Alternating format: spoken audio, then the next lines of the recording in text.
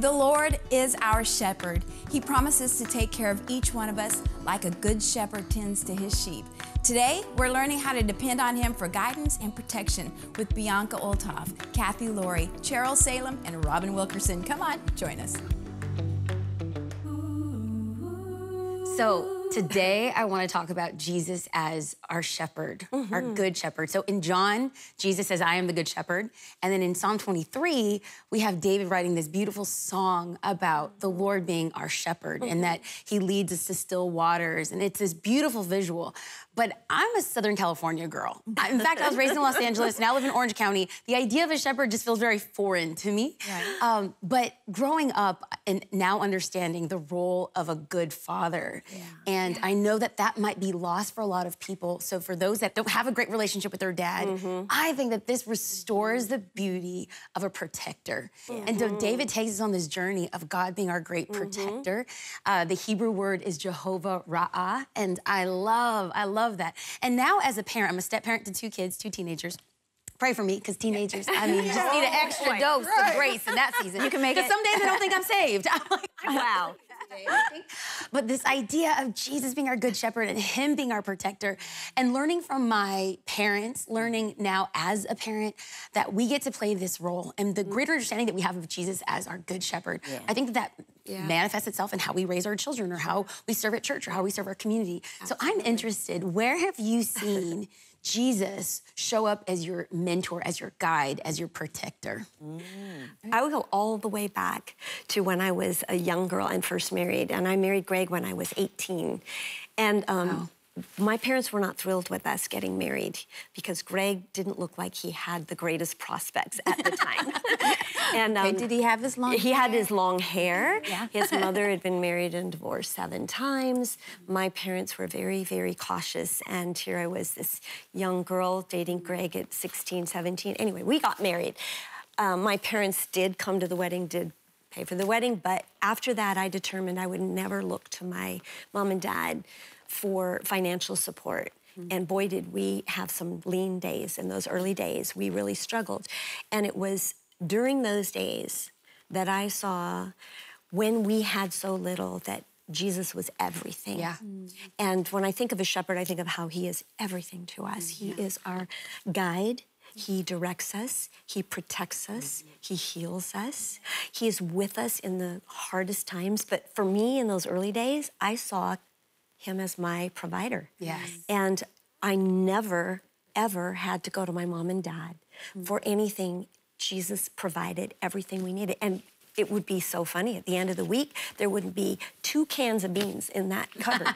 everything, I budgeted everything, $20 a week for groceries, and we had so little. But by the end of the week, we had just enough. And when things got really lean, the Lord would drop a, an art job in Greg's lap because Greg was an artist. He could design some graphics for somebody, and just moment by moment, I saw mm-hmm. God be provider mm-hmm. and guide.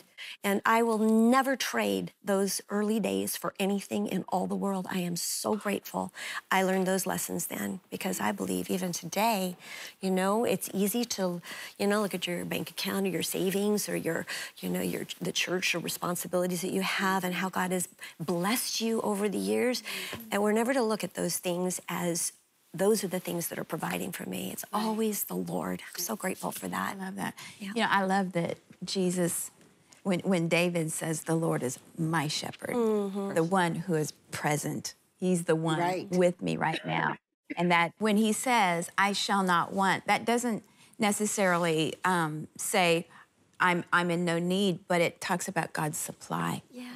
I shall not want. That means I have everything in him, that mm. it's the greatest mm-hmm. asset that I could possibly have, is that I'm completely at a supply mm. for everything that I need so that I don't lack anything. And if I don't have it now, God's timing is always perfect for what I, I do. That. And that I shall right. not want. And sometimes it's moment by moment. Exactly. I mean, when He really becomes your shepherd, yeah. He's with you always. And that is something that we tend to spend a little time with him here, spend a little time with him there. But as shepherd, he never leaves us. He never forsakes us. I love that scripture where it says he never leaves us, never forsakes us. In the Greek, it means that he doesn't ever turn his back on us. That's right. He doesn't go to sleep with us and turn his back on us like a roommate. He's always a mm-hmm. lover. He's always protecting. Mm-hmm. He's always going to be with us. And those of you who know my life, you know every moment, not just every day, mm. every moment there are times he walked me through grief, through cancer, mm. through all kinds of different sicknesses, mm-hmm. and he's he never leaves us, even when it looks like he's abandoned us. Mm-hmm. It's actually when he's there with us the most. Mm-hmm. He is. And yet nobody when people look at your life, sometimes they can't see that. Right. But you know. Right. You know that shepherd is that staff's reaching mm. out there and grabbing you when you're mm. trying to wander off and mm-hmm. he's pulling you back close. Sometimes he'll grab that back leg to say, You wander off again. I don't need you wandering, I need you close.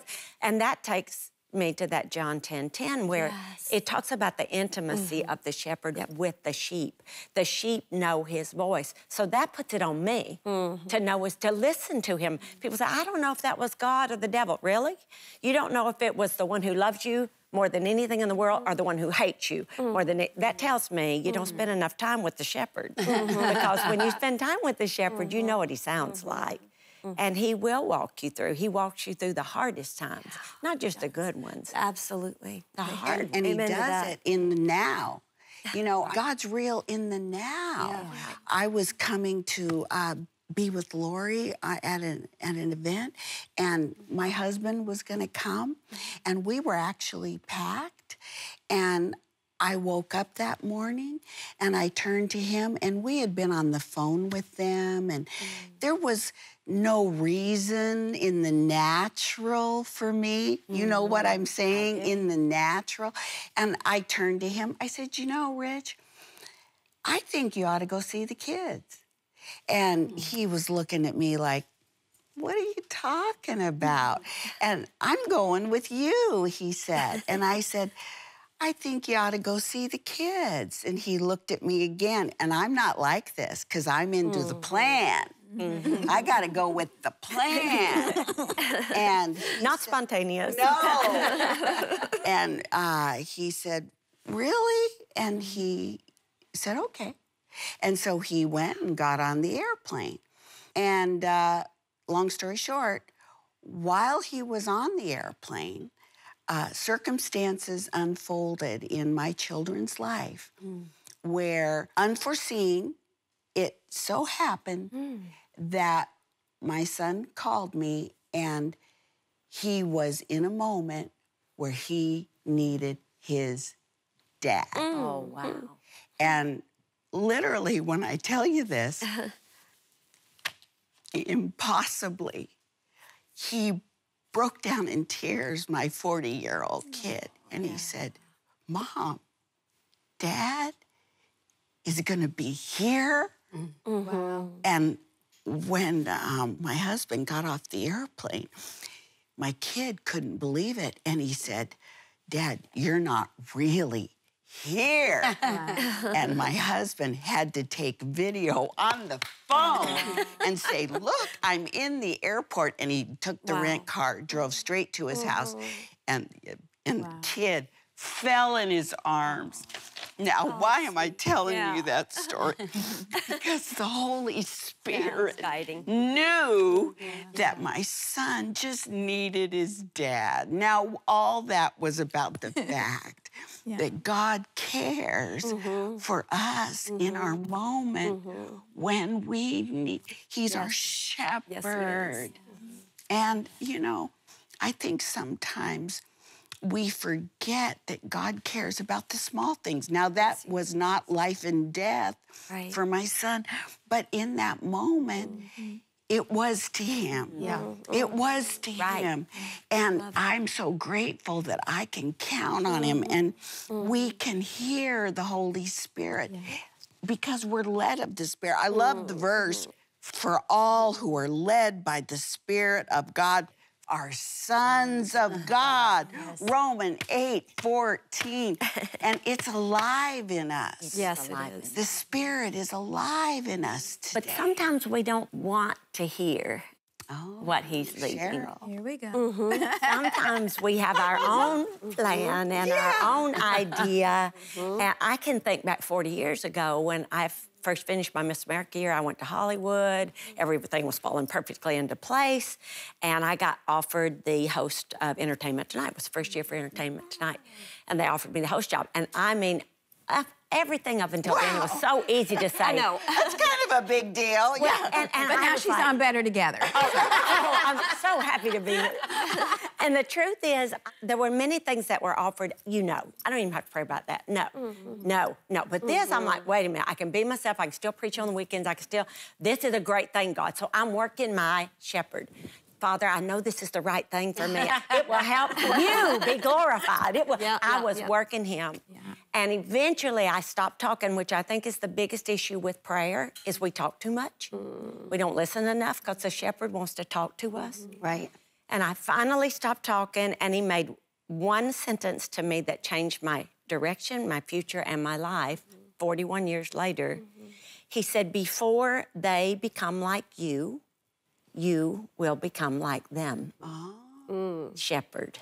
Yeah. It looked right. I wanted to do it. Yeah. There are times the shepherd will tell you things that you don't want to hear, but he's protecting you. Mm-hmm. Yeah, he's right. surrounding you. He knows about us what we don't even know. I thought I'd survived a homeless America year and I had not sinned. Yeah, I can do this. you know, but God was like, But no, you can't. You Yeah. can't because you will be infiltrated with the whole culture and you won't be able to do it at that time, at that moment. 41 years later, I hear that in my head. Thank God he protected me. yeah. Because I was thinking I was big enough witness to change everybody mm-hmm. I met. Oh. And sometimes people will change you before you change oh, them. Wow. And the shepherd will protect you. Yeah. So the ability to hear our shepherd's voice, that sensitivity to Yeah. God, what are you mm-hmm. talking to me to do right now? Yeah. Is going to be so vitally important. Yes. And the reason why these stories matter is because so many people are facing financial instability, mm-hmm. relational issues because the pandemic has separated and brought a lot of stuff to the surface. We talk about the long-term effects of what separation has done within the church and outside of the church. So my husband and I are church planners, and listening to these stories and testimonies is powerful. And I, I don't want people to think, oh, well, these are just stories that happened to you. Mm-hmm. These are testimonies of mm-hmm. like, the Lord did it for us here, the Lord's gonna do it for you there. Yes. He is Right. faithful. He is a shepherd. If you look at Psalm 23, just the attributes of a nature of a good shepherd who loves us and wants to pour into us. In this pandemic year, uh, my husband and I church planted now just two years ago. So a year in time. Timing. Yes, I Yes. know. Right in time. So we had only been hard. we had only met together for a year, and we finally were gathering our footing, and then the pandemic happened. Yeah. And in that moment, I needed to know, not just read, not sing, not write that the Lord is my shepherd or my guide. We straight up needed a guide because we felt right, lost. right, right. We were Yeah. like, where do we go? We're the Yeah. wandering tribe of Israel. At least they had a Yeah. tent. We had nothing. We had absolutely nothing. And God met us so faithfully and so good. So for people that are like coming out of a really crazy season, really tumultuous season, to hear that God will provide financially, that God will provide relationally, that God will provide intuitively through the power of His Spirit. Yeah. This is what I want people to hold on to and know and remember. That this isn't just happen for holy, uber, you know, pastors. That the Spirit of God is wooing us, beckoning to us, talking to us now, to guide us now, to lead us now. Yeah. And that's the importance that I want people to hold on to. Yes. If he did it for David, he did it for the New Testament, the church of the New Testament, he's gonna do it mm-hmm. today. He has not left us, he's not forsaken us. He will guide us to still waters. He will anoint us, he will set a table before us in the presence of our enemy, and he will not let us go. No. Absolutely. I love what Laurie said earlier that he is my shepherd. Mm-hmm. He's my shepherd. You know, I think sometimes we feel like um, God is busy with the important people. God is busy doing big things, and my little life doesn't matter. That He's not aware of it. But um, there are times when we go through those seasons of the valley of the shadow of death, where you need to know He is your shepherd. And that He is present with you and He is walking with you. And this psalm, there are so many times in the middle of the night where I couldn't sleep, where I had to refocus my thoughts because the enemy is right there with every fear, every worry, every what if, every if only, and it can overwhelm you and just tie you up. In the middle of the night, I will oftentimes go back to this psalm in the dark. I'll, I'll lift my arms up Yeah. and the, just stretch out and go, The Lord is my shepherd. I shall not want. And He provides and guides and protects and never leaves us. It's so true. But we, we do need to have that intimacy with Him. Not just a book somebody else wrote, Right. not just a story somebody else lived, but our own testimony of His being a faithful shepherd to us. I love that that a shepherd doesn't drive from behind. Mm. You know, he calls. Yeah. He calls to come. He calls, you know, and I don't know about you, but I've seen videos of shepherds and hundreds of sheep. and when the shepherds get together to talk or hang out for a minute, the sheep just all intermingle together. And I don't know if you've ever seen it or not, but when those shepherds separate and start talking, those sheep just their shepherds. go to their shepherds, and it's just it's To just, know His voice. you know, because they know his voice. Mm-hmm. So what that says to me is that if Jesus is calling us forward, then he's walking through mm-hmm. everything in front of us. And so our future mm-hmm. is our friend. Yeah. Because Jesus has been there. Jesus is calling us, come over here, you know, and then the one, and he holds to his bosom. Because I think becoming sheep, if there's a shepherd, then there's sheep. So we're hopefully all sheep. Yes. If you're renewed and you're a believer in Christ, you're a sheep. Right. If you're not, you're a goat or a wolf. Right. Right? That's kind of what the Bible separates. That's but the reality. sheep, Yep. he tends to them and they're feeble and Vulnerable. vulnerable mm. and they're foolish and he's got their heart. Mm. You know, he's got the heart for his sheep, which is is so beautiful to me because anytime we're, we're hurting or or lost, he's right there and then he just holds us. You know, and if we can feel that embrace of God, And true sheep are not afraid to follow the shepherd right. without having to have a plan or an explanation. I think a lot of fear had to be dealt with over all these last uh, months that we've gone through. And I think a lot of sheep have come up to realize the only thing I can trust Mm-hmm. is my shepherd. Mm-hmm. The only thing I, I don't trust my emotions, I don't trust my mm-hmm. mind, I don't even trust the information that's coming at me, but I can trust my shepherd. My shepherd knows what I can't possibly know. He can lead me where I can't possibly go. He is in front of me, always saying, okay, this is a safe place, come this way. But it still comes back to us. Do we trust the voice of the shepherd? If we know him, really know him, not religious, mm-hmm. but relationship. If we know him, we trust him. I haven't had this thought till just this moment. Mm-hmm. But we're talking about shepherds and we're talking about a word that I haven't thought of in years shepherding. Mm-hmm. And there was a time In the 70s. a long time ago where that word got thrown around. And one of our ideas here today is we, we're asking the question how do you know? How do you hear God's voice? Mm-hmm. And I'm a pastor and I've had the privilege to be a Christian a long time. And I think it's a good idea that we want to talk about. And how do you know? And the idea for mm-hmm. maybe somebody who's listening to us today is that idea of shepherding was sometimes got mixed up mm-hmm. because sometimes there were pastors or leaders, even cell group leaders who became self-appointed and the term shepherding was they became a shepherd mm-hmm. over people. Mm-hmm. Right. And I think it's important that we talk about the idea that there are ways to hear the voice of God. And the very first, most important way is to read uh, the Bible. Listen to His word. Novel and idea. We often, sometimes I get very surprised and maybe even shocked that I have people that I see often in church. They serve in church, they give, and I get surprised because I'll be in conversation and they'll come up with ideas, and I'll think to myself, oh my. Dear, you have not read the Bible. And I'll even have conversations where I'll have someone ask me to pray with them, and it'll be things like, you know, I am asking the Lord to pray with me about, and then fill in the blank. Mm-hmm. And it'll be so far away mm. from what the scripture teaches mm-hmm. about something like, Right. and it'll be so far off God's word mm-hmm. that I'll know you can't be praying about that married man being your boyfriend because that violates God's word. So the very first thing that we know about how to hear God's word, Yeah. h- how to hear God's will, is to read the Bible. Absolutely. And I just want to just make that point that we can hear God's spirit. If we will just simply start by reading His word. Yeah, the very word ra, ah. Ah, is the breath of God. Yes. And so, so many times we think about the breath of God as if He's a mighty blowing wind, but yet the breath of God is His word. Ever so close to us. We feel His breath. And when I feel His breath, then I'm so intimate with Him that I know when He breathes on me, just not blow, but the breath of God, and that is the word of God ever speaking to my spirit, calling me forth to come out of the mess. Yeah.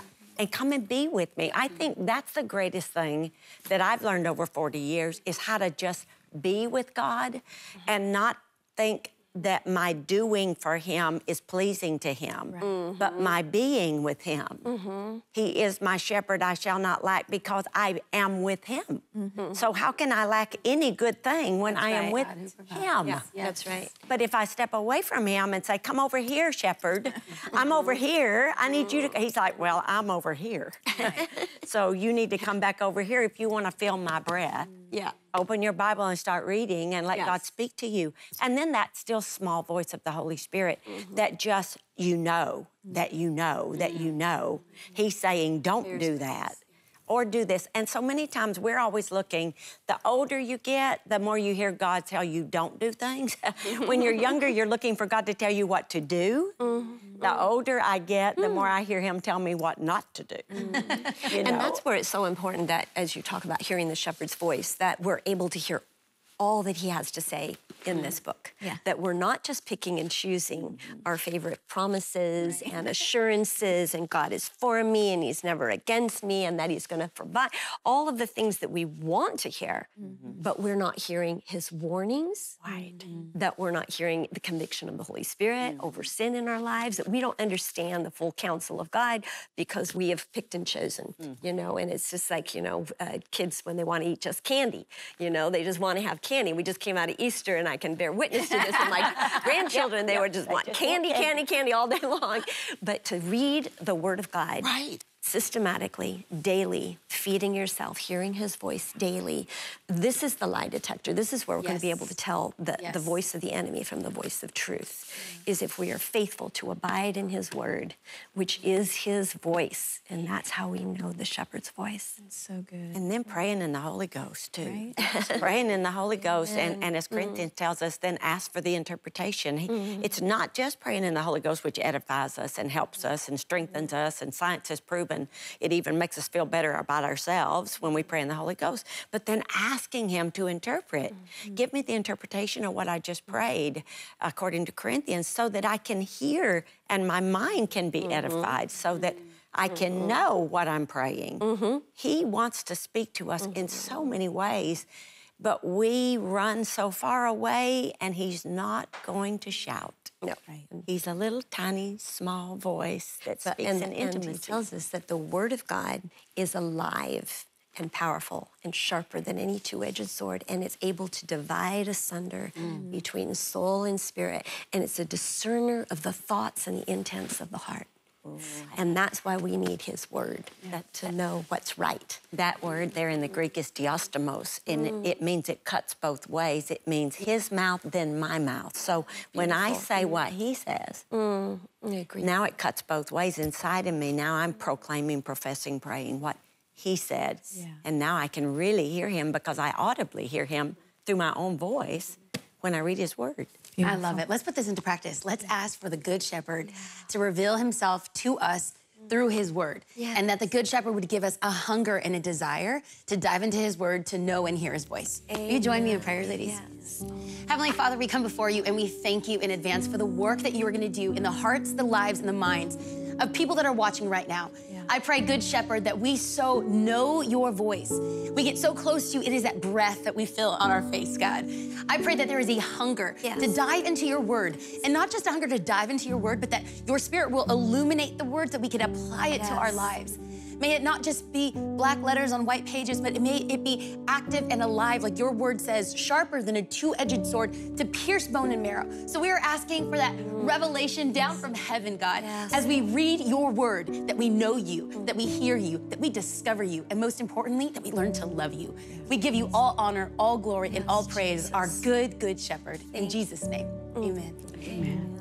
At TBN, our mission is to use every available means to reach as many individuals and families as possible with the life changing gospel of Jesus Christ. Thank you for helping make the gospel of grace go around the world. And it's because of you that partner with us that this ministry continues. God bless you.